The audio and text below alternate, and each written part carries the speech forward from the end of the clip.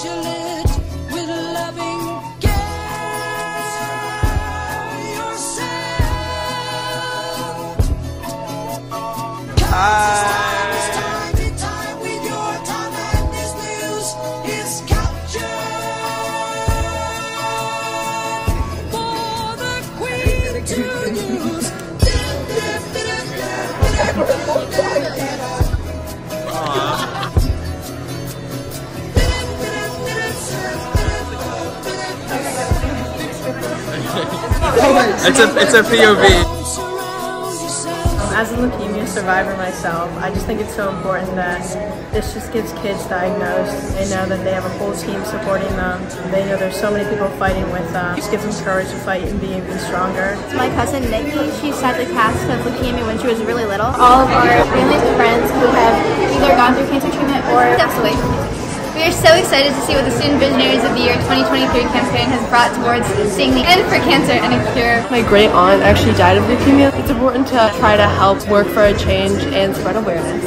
I just want every kid diagnosed to be able to shout that they're a survivor just like I could. vision we share starts with strength, love, and hope. create a future where nobody has to live in fear of a cancer diagnosis.